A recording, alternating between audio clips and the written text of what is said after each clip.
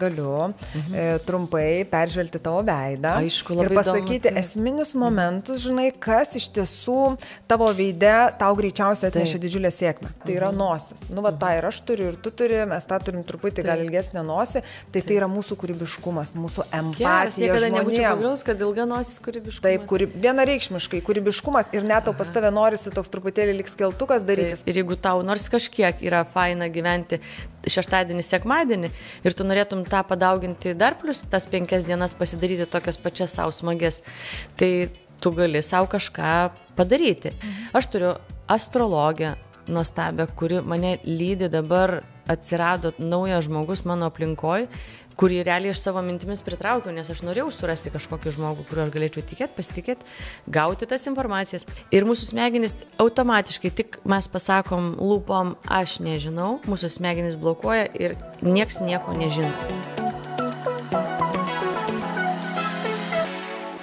Sveiki, mėlyjeji. E, Pristatau Jums visiškai naują, e, naują tinklalaidę pavadinimu Karjeros laiptais. Tai jau kai turbūt ir supratote, e, šios tinklalaidės tema yra karjera, yra apie tai, kaip žmonės ją siekia, kaip tapo tuo, ko tapo, kaip padėti savo vaikam atrasti savo karjeros kelią. Ir aš šios laidos vedėja Laura Šukienė, taip pat prisistatysiu, esu kūno kalbos, žmonių tipologijų ir veidotyros specialistė, mentorė, lektorė, taip pat esu Master Academy akademijos įkūrėja ir taipogi karjeros konsultantė. Konsultuoju tiek jaunimą, tiek suaugusius žmonės bei ieškančius savo kelio. Ir šioje laidoje mes kalbinsim e, žinomų žmonės, apie kuriuos jūs žinote be galo daug skandalų. E, kiek jie kartu tuokėsi, kiek skiriasi, kiek turi vaikų, kokiuose projektuose dalyvavo. Bet ar kada nors jūs žinojote arba žinote apie tą žmogų, kaip jis tapo to, ko tapo? Nuo ko prasidėjo jo karjera, kaip jis atrado save? Ir šiandieną su didžiu, didžiuliu, didžiuliu džiaugsmu noriu pristatyti neįlinę viešnę. Kadangi, kodėl neįlinė? Todėl, kad ji visiems gerai žinoma. Aktorė, renginių vedėja, įvairių projektų e, dalyvė. Ir visai prieš kelias dienas, mums tai pasisekė, kad visai prieš kelias dienas, būtent kai filmuojam šią laidą, e, ši puikia moteris laimėjo projektą Tangomanai. Taigi, Ineta, Taigi yra Ineta Stasiulytė ir labai labai tau dėkoju, kad šioje pirmoje laidoje esi būtent tu. Ačiū labai tikrai, kad pasikvietei į savo laidą ir, ir labai džiaugiuosi mm, galėdama gyvai vėl susitikti, nes mes jau buvom susitikusios ir, ir, ir gavau labai daug naudų iš tavęs dėl šitų susitikimų ir labai džiaugiuosi, kad dabar mes galim pasėdėti ir pašnekėti daug plačiau apie viską. Būtent, Neta. Mhm. Ir aš norėčiau būtent pradėti nuo to, kad kiek aš išvardinau, tai yra tik dalis tavo talentų, nes iš tiesų, kaip sako, kai Dievas davė, tai nepagailėjo. Ir noriu tavęs paklausti, norėčiau pokalbį pradėti nuo tavo vaikystės. Vat kai tu buvai maža mergaitė, kuo tu svajojai būti? E, neturėjau tokių svajonių, nes labai daug dirbau visko. Kaip sakyt, aš net nežinodama dirbau savo svajonę. Aš e, pradžiai šokau e, keturių metukų liaudė šokius du metus, tada šokau dešimt metų iki šešiolikto, iki šešiolikto gimtadienio, žodžiu, šokau pramoginius šokius. Ir visą laiką buvau veikloj. Paskui pradėjau vaidinti teatre. E, ir jau 16 metų jau buvau, kaip pasakyti, daug jau patyrus toj srity. Tai aš gerai suprantu, kad tu dar nieko nebaigus kaip po teatro, mhm. jau tu 16 metų vaidinai? Taip. Vaidinau ir, ir iki pat 12 klasės ganėtinai intensyviai. Mano mokslai visą laiką būdavo persipinę su repeticijom te, teatro, teatre. Iki vėlumos repetuodavom premjerą ir man tas visas mechanizmas ir kaip viskas ten vyksta, man jau labai savas yra. E, jau tada buvo. Ir labai natūraliai ėjosi kur stoti, aišku, į aktorinę, nes rinko e, kursą visiems žinomas genijus Rimas Tuminas ir, ir ta prasme, kad sutapimas tuo, kad aš baigiu mokyklą ir kad aš galiu stoti pas jį, tai čia net abejonė nebuvo, nes jisai buvo vienintelis iš tikrųjų, kas ir įdėgė manį labai daug dalykų, ką aš dabar naudoju ir, ir kuo visi stebėsi ir grožisi. Tai aš dėkinga jam, prasme, ir, ir savo teatro vadovai, kur mes kartu labai labai daug patyrėm ir jinai daug mane išauklėjo, iš, apsaugojo, daug įskiepijo priešnodžių, žvaigždžių lygom ir visa kita. Ta prasme, aš buvau tikrai gyvenimo pamilėta ir ruošiama tam, ką aš dabar turiu, atlaikyti su visišku sveiku kuklumu ir, ir ta prasme, vertinimu ir vertinimu tą, ką turiu dabar. Mhm. Bet dabar pradžioje buvo šokis, mhm. ne? Tada vaidinimas. Mhm. Tai vis tik tai šokis vis tiek jisai lydi nuo pat mažumės. Tai yra pomėgis labai didelis. Tiesiog didžiulis. aš buvau tokia, kokia yra dabar mano frėja. Ir kokia buvo upė. E, Frėja labai lanksti ir jinai yra, jinai tokia ne, nesuprantamai lanksti, atrodo, jinai nieko nestreniruoja, bet visi klausia, o tai ką jinai lanko. Tai va, iš gamtos yra duotas tas lankstumas, tas muzikinis pajūtimas ir tas pajūtimas savo kūno. E, ir aš prisimenu, žiūriu ją, aš prisimenu, kaip aš jutau savo kūną iki pirštų galiukų. Ir man aš išgirstu muziką vienokią, aš ją išjaučiu visiškai. Man eina siužetai ir visa kita, kaip aš galėčiau tą padaryti. Ir jinai dabar lygiai tą patį daro, jinai lygiai taip pat jaučia tą muziką. Mes, mhm. nu, va, tame yra tikrai ta tokia duotybė, ką, mhm. ką ir aš turėjau tada. Ir tėvai tiesiog matydami visą tai, jie paskatino mane daryti tuos dalykus. Ir, ir aš tiesiog treniravausi, pažinau visą tai. Nu gerai, dabar šokėja, mhm. po to pradedi vaidinti. Ką tėvai? Vat, žinai, tėvai, teisininkų nori visi, kad būtų gydytojai, Taip. o čia šoka liktai, ne? Nes Taip. pas mus susidaro toks vaizdas, kad, ale, žinai, reikia labai čia mhm. kažkokios rimtos profesijos. Aišku, po to studijos jau, jau Taip. aktorinio, tai yra studijos, bet iki to, dar iki studijų. Ką tėvai sakė, palaikė visada besąlygiškai? Tėvai visą laiką labai žavėdavosi visom premjerom, visais mano pasiekimais. Mes labai daug keliavom su teatru ir užiminėdavom pirmas vietas. Ir visur būdavom nugalėtojai, ir režisieriai, ir aš, jinai už režisūrą, aš už pagrindinės vaidmenis. Ir, ir visą tai visą laiką buvo, aišku, tėvai labai džiaugiasi tais visais pasiekimais ir, ir matė, kiek, kiek aš tame talentinga, kiek aš tame darau poveikį aplinkai ir aišku palaikė, bet e, po kažkiek tai laiko, aš net nežinau, kiek laiko praėjus mes su sesė kalbam, kai aš pasirodo, tėvai sako, kai, nu, žinai, sanatėlė, nu bent jau tu įstok, ta prasme, į norma, normalią profesiją, kad galima būtų, žinai, nu jinai, aišku, čia yra taip, jinai studijuoja, jinai ten tą daro, čia nieks neaišku, kaip čia viskas bus, bet bent jau tu būk normali, nu ta prasme, aš nežinau, kaip ten tiksliai skambėjo, dabar neprisimenu, bet, bet aš žinau, ir jų santykiai, ir, ir jų mąstymą. Ir aišku, ir tai yra visiškai normalu, nes labai daug kas galvoja, kad aktorius, nu, tiesiog e, su ta greikiu mėgstama krošytė ir, ir gyvena visą laiką. Mhm. Bet aš giliai tikiu, kad tai yra tik tai įsitikinimai. Jeigu tu amžinai galvoji ir dar iš tėvų, iš savo protėvių turi tokius įsitikinimus, kad, e, sakykime, akt, aktoriai niekada negali uždirbti daug. Jeigu tu žinai šitą tiesą iš kažkur tai, ne, girdėta, tai greičiausiai ir net negreičiausiai, o tikrai tu neuždirbsi nieko. Mhm. Nes tu labai tvirtai to tiki.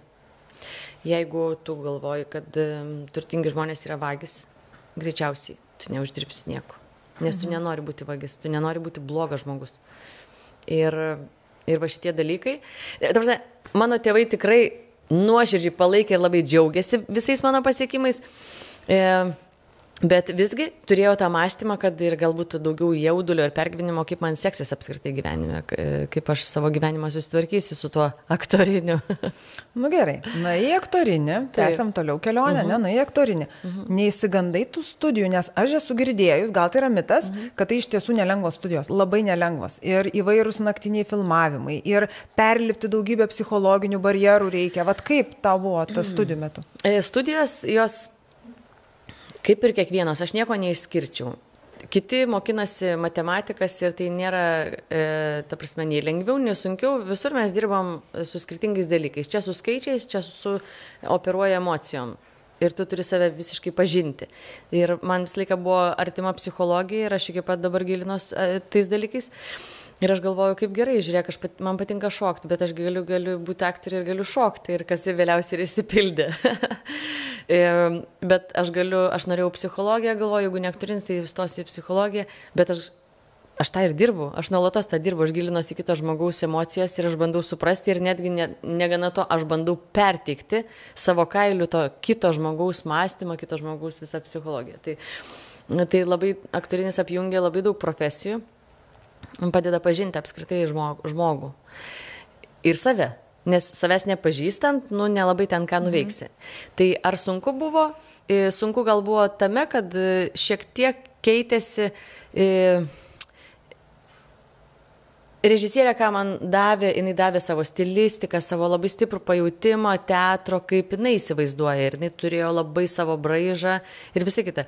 Ir aš atėjus, labai greitai buvo man taip nusitė nuleista, nes aš supratau, kad aš kažko labai dar nežinau. Ir man buvo tas perversmas, kad aš, aš pažįstu naujus dalykus, mano jau žinomi dalykai neveikia. Ir aš tada tiesiog pasidėjau šitą savo bagažą, šitą savo turtą į šoną ir aš tada supratau, kad aš turiu išmokti labai kažko naujo. Ir būdavo visokiausių situacijų, man pavyksta, nepavyksta, bet aš nežinau, aš nuo pat mažens jaučiu tą proceso grožį ir aš nestresuoju. Mhm. Aš savęs neplaku ir, ir ne, nu, einu su savim draugystėje, nes nu, kita, kas kitas gali taip stipriai palaikyti mane, tik tai aš. Mhm. Tai čia aš manau, kad va, čia ir yra tas, ar buvo sunku, ar buvo nesunku, tai sunku yra, kai pats save pameti ir sakai, nu žinai, ką tu nevykėlis, tau nepavyko. O aš sakau, ne, ne, ne, žiūrėk, nu žiauriai susimovė, ta prasme, visiškai nesigavo.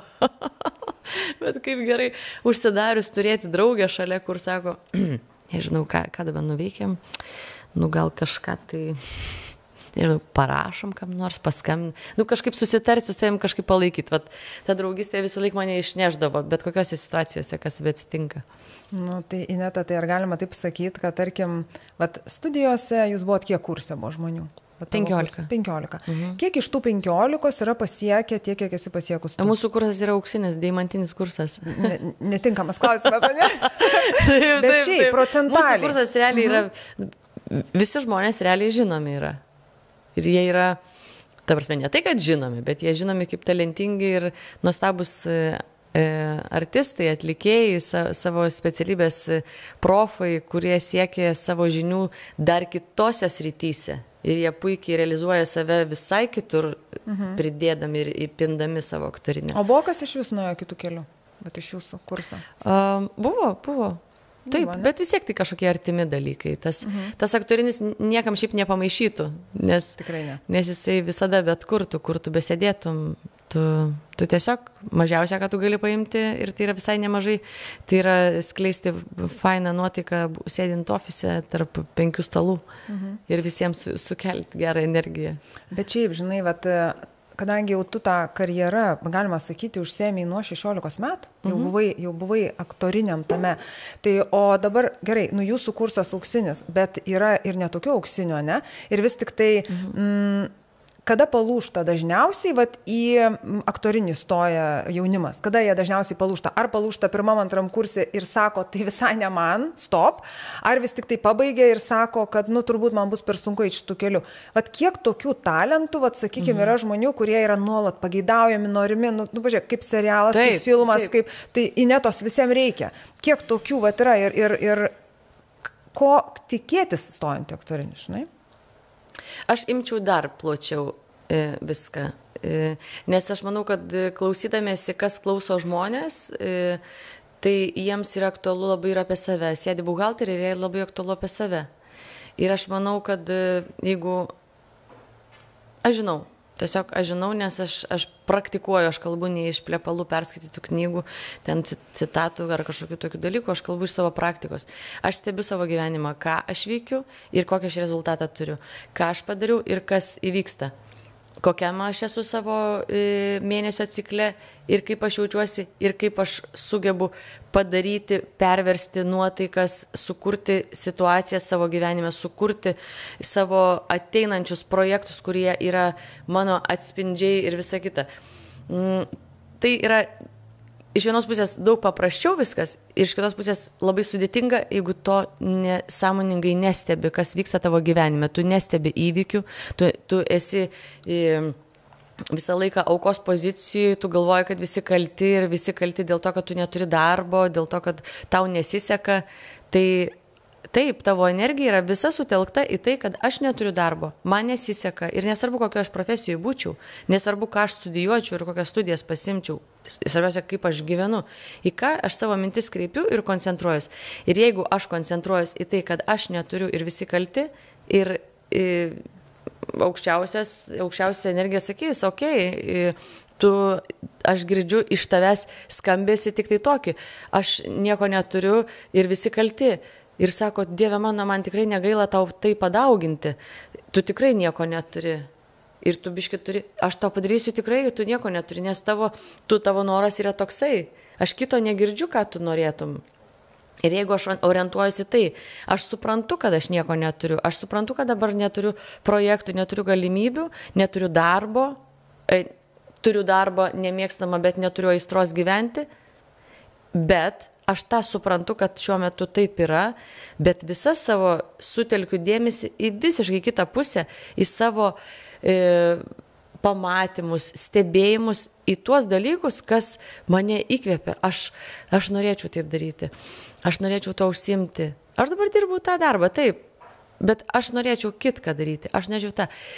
Automatiškai gyvenimas visada duos tau galimybę kažkokį, jeigu tu stebėsi, tu klausysis pokalbiuose, E, kalbėdamas su žmogum, tu klausysi, ką jis tau sako. Tu pergalvosi tos dalykus, tu kažką suprasi, tu išgirsi galimybės, kurias tau gali labai suteikti žmonės, kontaktai, nesako, reikiamų laikų, reikiamoj mhm. vietai.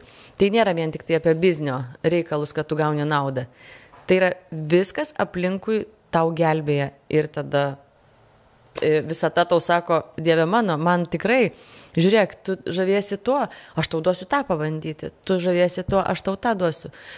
Ir, ir, ir tai yra visiškai realu, ta prasme, tai yra realybė. Tai nėra dalykai mistiniai, apie kuriuos aš kalbu.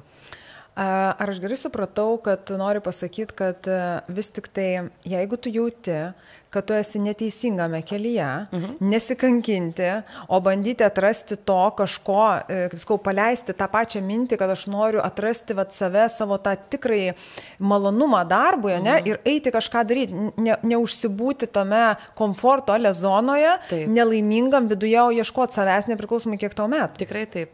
E, vat, būtent e, aš nesakau, kad reikia šiandien mesti darbą ir kažką tai e, kardinaliai keisti savo gyvenime. Reikia tik tai galbūt suprasti, suprasti ir susivokti, kad aš esu ne savo keli, tai yra žiauriai didelis žingsnis. Apskritai, labai didelis sprendimas ir susivokimas. Ir tu toliau dirbi tą darbą, bet tu supranti, kad tu nesi čia nais amžinas ir jeigu tau nors kažkiek yra faina gyventi šeštadienį, sekmadienį ir tu norėtum tą padauginti dar plus tas penkias dienas pasidaryti tokias pačias savo smages, tai tu gali savo kažką padaryti. Bet čia yra jau kitas žingsnis. Veiksmai, ką aš darau, norėdamas atrasti save.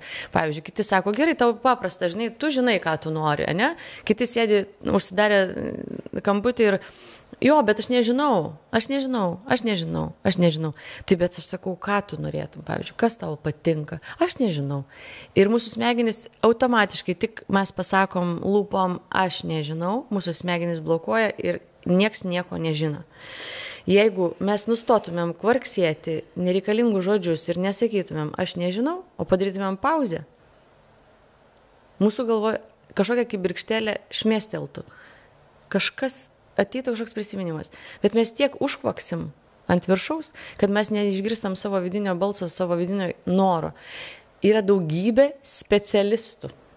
Alio, čia viena prieš mane sėdi, kuri e, daugybė žmonių, kurie gali tau suteikti, e, atpažinti tos savo e, ženklus, tos kelio ženklus. Aš jeigu noriu nuvažiuoti į Prienus, tai aš galiu važiuoti per Baltarusiją. Tai prasme, aš vis tiek nuvažiuosiu į Prienus, tiesiog aš ilgiau užtruksiu. Ar aš turiu laiko čia išlaidauti savo dienom, aš, nes aš nežinau, kiek aš čia dar prabūsiu.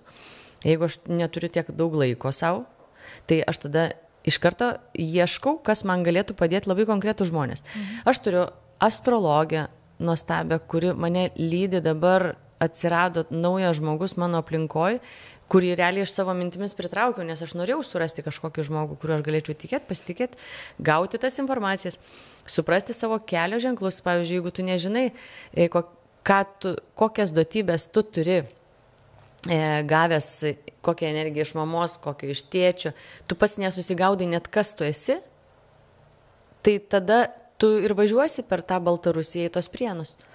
O jeigu tu žinai kelio ženklus, tu žinai savo misiją, tu susižinai, mm, ką tu gavai gimimo akimirką, kas pas tave yra įdėkta tam kompiuterį, tai tu tą failą atsidaręs, tu labai aiškiai žinai, kur tau seksis, o kur tau nesiseks. Ir tada mes galim jau daryti žingsnius į tą, mes turim jau nuorodas kažkokias. Žinai, vat, mano va kasdienybė, mhm. pas mane iš tiesų būna ateina vat, moterų, tų, kurios man pasako, taip, va, taip tyliai sako, žinokit, jūs esat pirma, kurią aš iš vis pasakiau, kad aš noriu kažką keisti. Ir ką aš susidarau vaizdą, kad e, gerai, kai yra mhm. tokia stipri moteris, va kaip Ineta, ne? Nu ir aš pati, kaip sakau, gyvenime darau įvairiausius radikalius sprendimus, Taip. nes man užtenka drąsos. Bet yra tų žmonių, kada jie būna arba užguiti savo aplinkos, mhm. savo būties ir jie net bijo pagalvot. Ir tas žodis Taip. nežinau, tu, va taip taikliai pasakai, tas žodis nežinau, tai yra gynybinė tokia pozicija. Taip. Aš žinok, nežinau, tai todėl esu va čia, kur esu. Ane? Aš suprantu ir priežastis, ir tas visus tuos dalykus man tikrai yra nesvetimi ir aš esu išsianalizavus ir aš pati suprantu.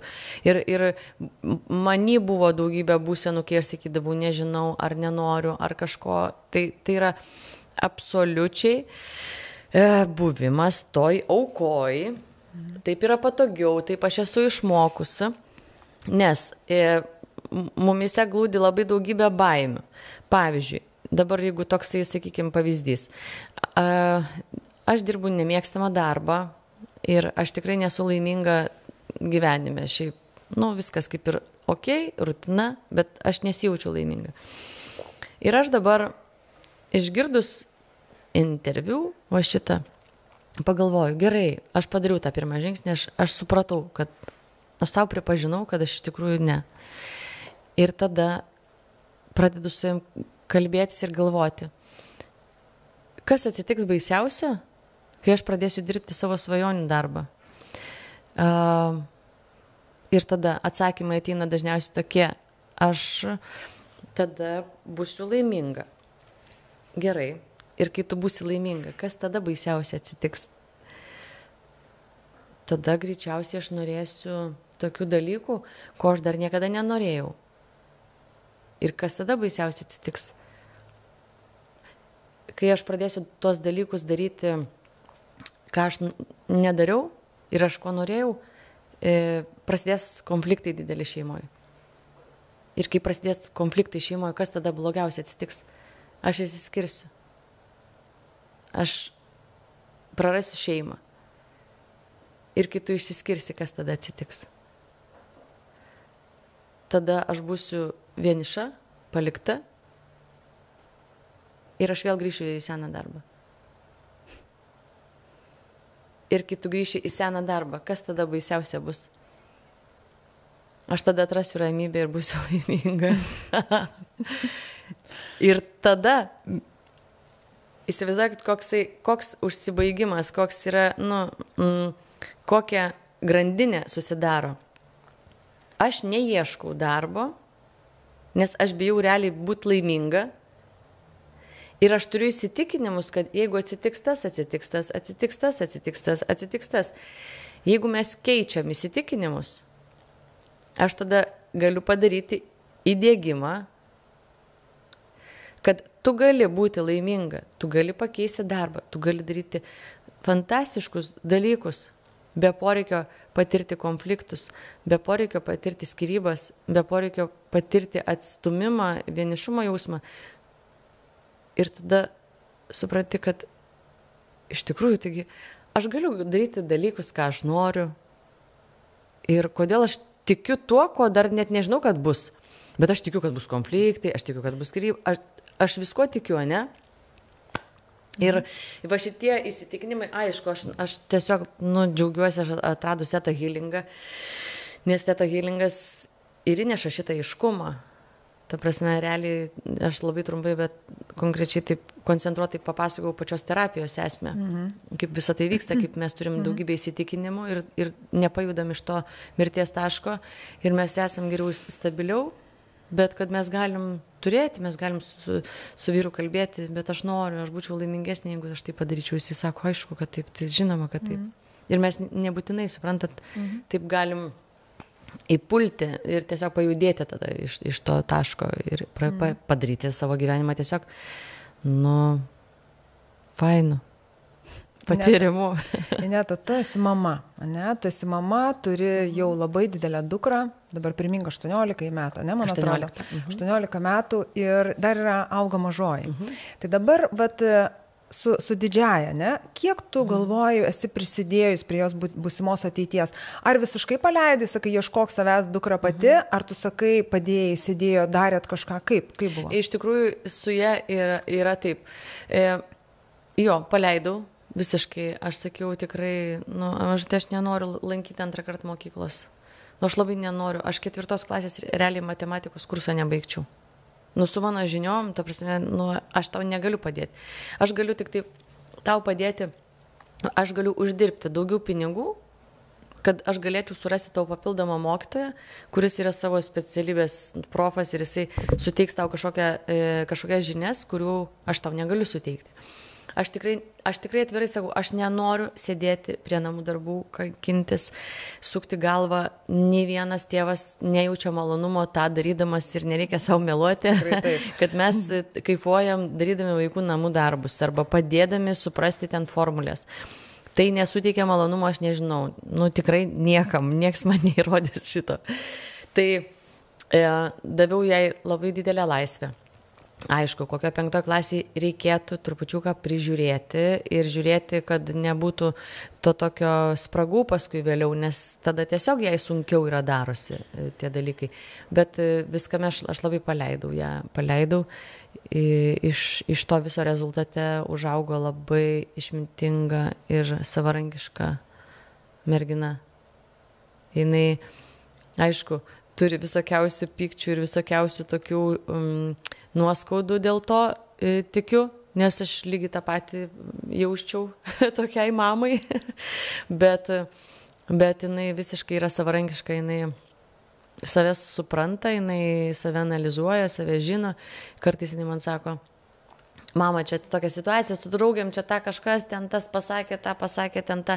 Sako, kaip aš norėčiau tiesiog būti viena, tiesiog paprasta paauglė, visko piktintis, ir, bet aš tiek suprantu, kad man tiesiog sako, aš negaliu, nu tiesiog, aš, aš per daug suprantu, man tiesiog, nu, taip, suprantu. Nu gerai, bet va, kaip paleidė, ne? Tai mhm. dabar su kuo jin sieja savo va ateitį? Jinai sieja, jinai labai nori, studijuoti ir jinai pati susirado Barcelonai e, universitetą ir jinai pasakė man, kad jinai nori Barceloną, aš sakau gerai. E, jinai susirado žmogų, kuris Lietuvoje yra kompanija, kuri padeda mm, komunikuoti tarp universitetų užsienyje. Jinai man tik tai pasijungiam pokalbį, vieną pokalbį turėjau su, su to žmogum, kuris mm, supažindino su situacija ir sakė, mes toliau su jie bendrausim ir, ir viskas. Ir aš toliau nieko nežinau, aš tik tai žinau, kad kaip ten e, reikės mokėjimus daryti ir kokiais išsidėstymais ir ten mhm. tuos dalykus. Ir aš dabar suku galvą apie tai, kad kaip, kaip tą man e, uždirbti tuos pinigus, kad realizuoti tą jos svajonę. Bet e, jinai savarankiškai viską susirado, viską. Jinai nori marketingą studijuoti.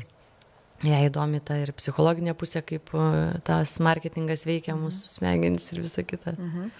Nu gerai, dabar atsakai paleidai ir taip toliau. Taip. O ką darytum dabar kitaip su mažaja? Tai va, pažiūrėsim, kokios mano smegenys, kas transformacijos, kokios įvyko.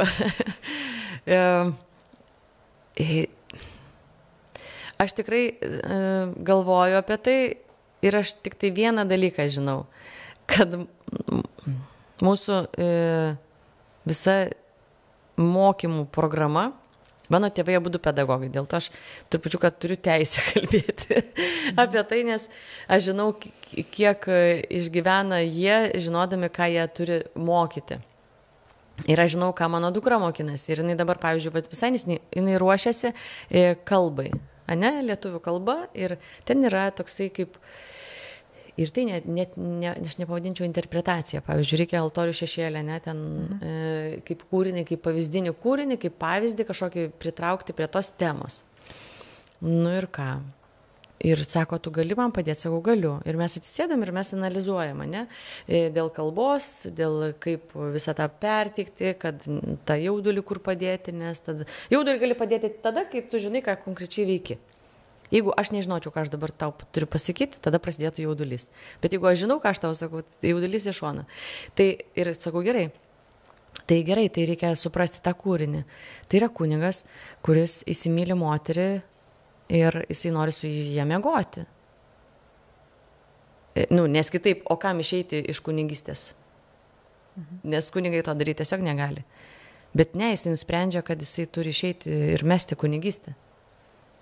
Mama, bet čia taip negalima, e, taip sakyti. O kodėl negalima? Nu, mama, nu baigtų su savo ten tais dalykais. Bet sakau, man tikrai labai įdomu. Bet čia toksai esminis pavyzdys apie visą, mhm. ką, ką mokinasi vaikai dabar. Tai buvo kažkada, jo, negalima buvo apie tai kalbėti, negalima buvo suprasti tų dalykų. Bet esmė tai tokia. Tai mes dabar, sakau, o tai kaip tada tu turėtum daryti?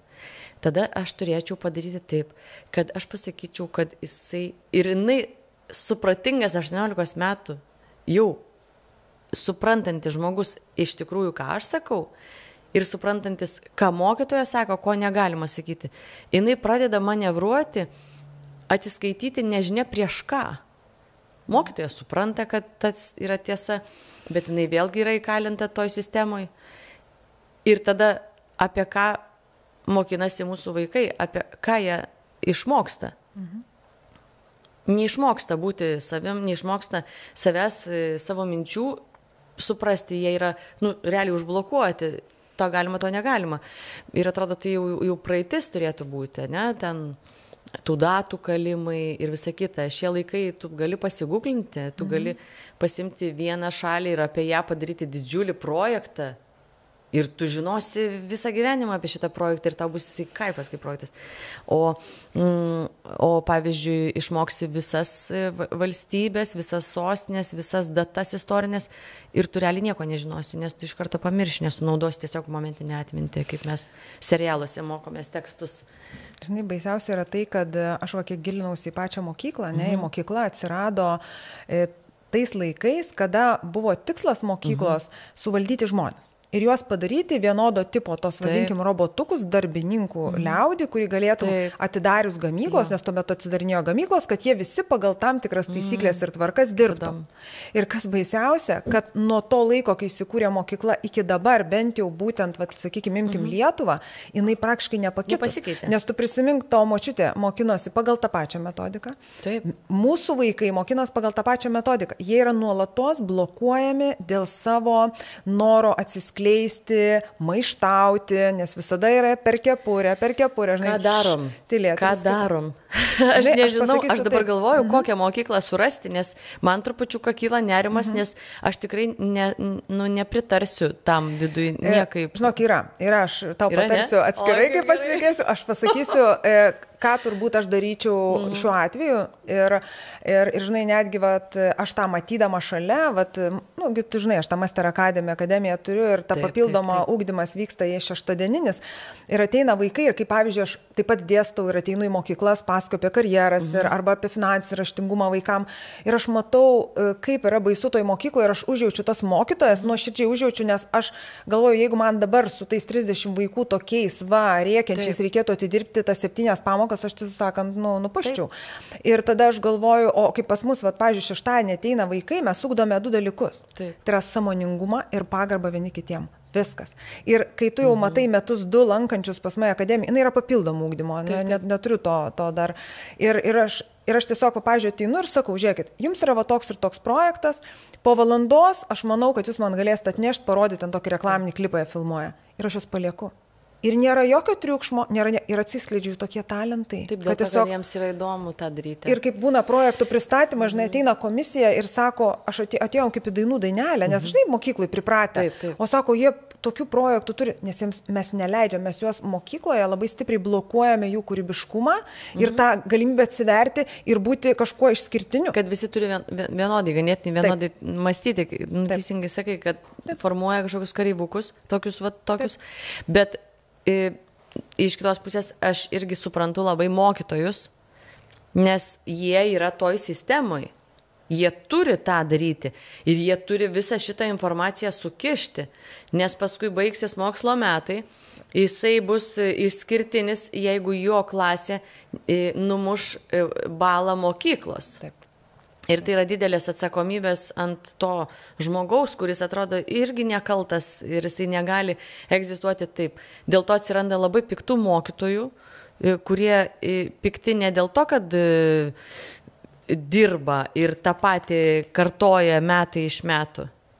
Net ne dėl to, o dėl to, kad jie savęs nekenčia, dėl to, kad jie save išduoda tą darydami. Jie netiki tuo.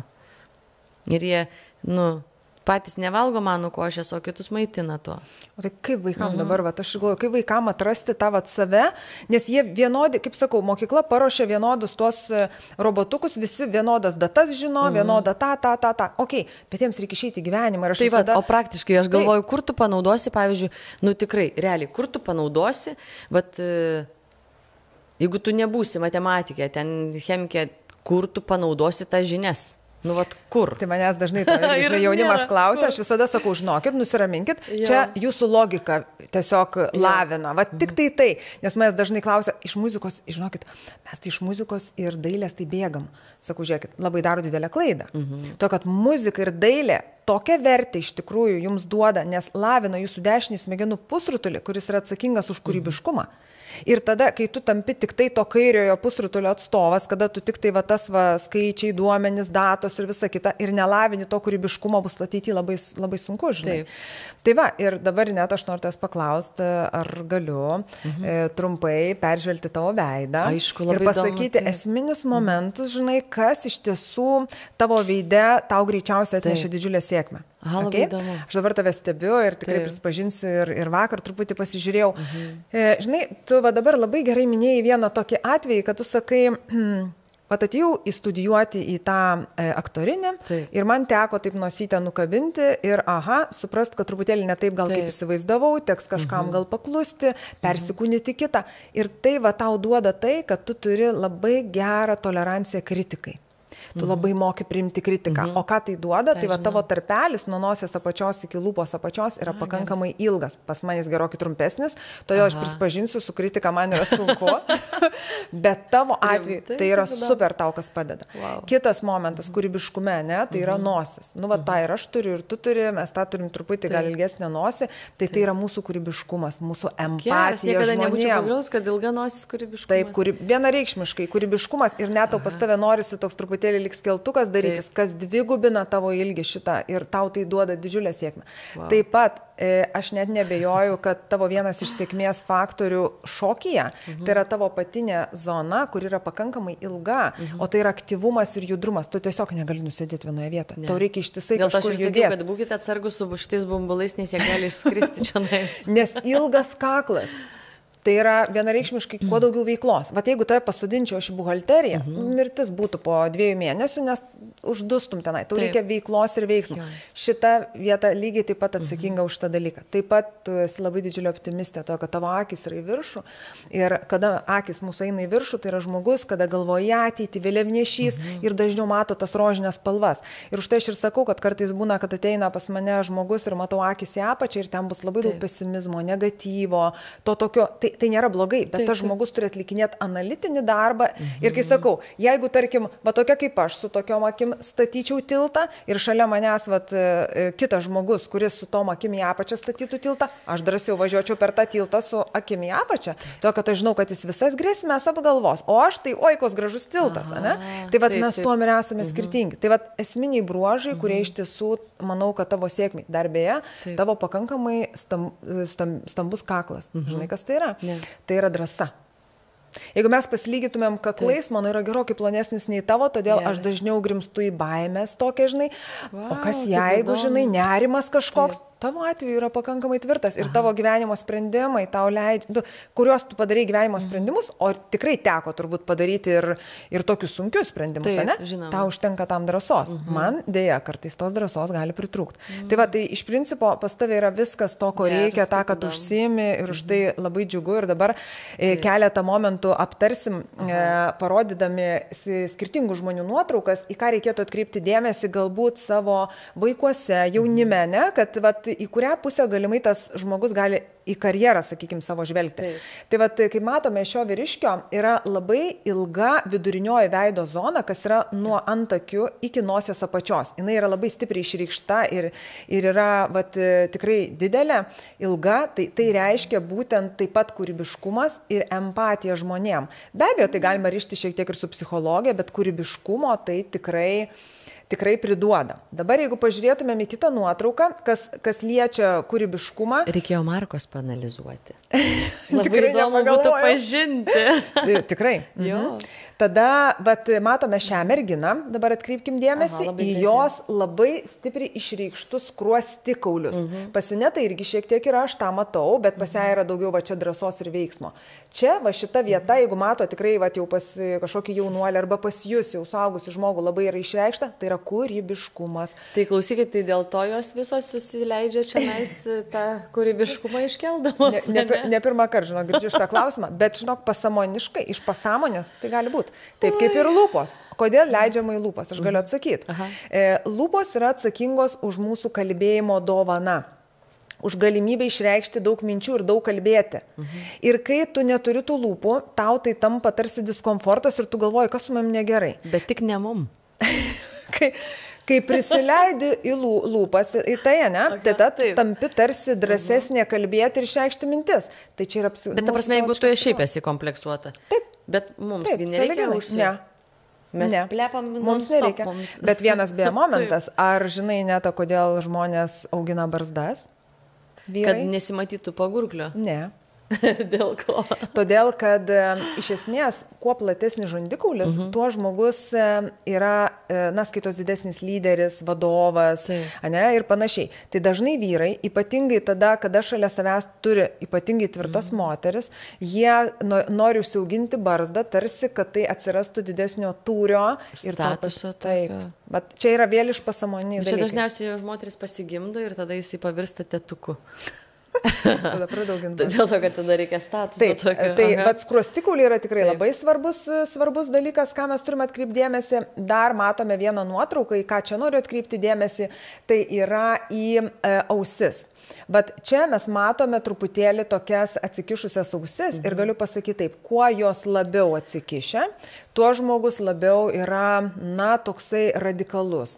Arba kitaip tariant, vat, darželį, jeigu matom mhm. vaiką atliepusiam ausim, tai žinokit, kad iš jo tikėkitės visokiausių įdomybių, staigmenų. Jis padarys taip, kaip kitas vaikas niekada A, nesugalvos. Tikrųjų, taip. ir įmoniai, aš visada, kai vedu mokymus, sakau, žiūrėkit, jeigu trūksta idėjos, mhm. pirmiausia, susiraskit labiausiai atliepusiam mūsim žmogų ir iš, pamatysit, wow, kaip geras. jam pateikit problemą, jis ras tokį sprendimą, ko jūs niekada nesitikėt. Tai va, į tai labai atkreipkite dėmesį Aha. ir taip pat dar Paskutinė nuotrauka, į ką noriu, kad atkreiptume dėmesį, tai šitas žmogus turi labai daug savyje kūrybiškumo, pradedant jo nosimi, jinai yra irgi pasididelė. Ir kuo jinai didesnė, to mes esame labai kūrybiški ir beje, aš esu panalizavus labai mūsų daug aktorių. Ir didžioji dauguma turi yra labai didelės nosim. Taip, Taip vienareikšmiškai. Mhm. Taip pat, kaip matote, ir ausis yra šiek tiek Taip. tokio e, atsikišimo. Mhm. Ir čia labai mažai matosi, bet turėkime minti, kad scenos vienas iš parametrų yra dobutė mūsų smakre. Okay. Dobutė, ne brūkšniukas, neskeltukas, o dobutė. Tai yra scenos parametras. A, tai reiškia, žmogus scenoje turi jaustis labai labai gerai. Geras. Tai tiek būtų turbūt šiandieną apie m, mm, būtent gal šią vat, profesiją, kas yra aktorystė, kas yra būti scenoje. Begalės dar turėčiau klausimų, bet e, mes turime aišku ir, ir tą ribotą laiką. Mm. Ir labai labai tau ačiū, Neta, kad tu pasidalinai savo išmintim ir tą patirtim, kurią aš manau pravers tikrai daugam ir ypatingai tiem žmonėm, kurie nesiryšta keisti mm. savo profesijos, nesiryšta pabandyti. Aš kai sakau, visada grįši į tą patį kelią, bet tu pabandyk. Taip. Būtent negalvodamas, ką tu tiek daug prarasi. Nu, apsidraudžiant gali pagalvoti, bet ne tiek apsidraudžiant kiek e, tu gali atrasti save ir mhm. savo džiaugsmą savo veikloje kiekvieną dieną, tą, kad turbūt ir tu esi atradus. Tai jo, aš vieną dalyką dar pabaigai norėčiau pasakyti, kad e, ir dabar, dabar klausau savęs ir galvoju, nu, va, iš tos skeptinės pusės, ne ką pasakytų e, e, kas nors sėdintis ir klausantis. Nu ir gerai, ir, ir tipo, ką man daryti? Ką man daryti? Aš galvoju, kad viskas prasideda veiksmai tada, kai supranti vieną esminį dalyką, kad mums moka pinigus visiškai ne už daiktus, ne už e, kažką materialaus tokio ir ne už, tarsi, mes gaunam materialų dalyką, tai yra pinigai, tada, kai, kai mes kažką duodam, o va tas kažkas ir yra, tu, pavyzdžiui, pasiemi podelį jį sukuri, kažkokį podelį tokį ir tu kurdamas galvoji ne tai, kad ten užsidirbti už jį ten šimtą, dar uždėti procentų ant viršaus, kiek kainavo medžiagos, bet tu tiesiog susikoncentruoji į tą podelio e, kūrimą, kad jisai tau būtų jaukus, kad jisai tau būtų Verta, pačiam, tau būtų patogus paimti. Ir kai tu jį realiai įsimylį ir padarai tokį, tau automatiškai norisi dalintis.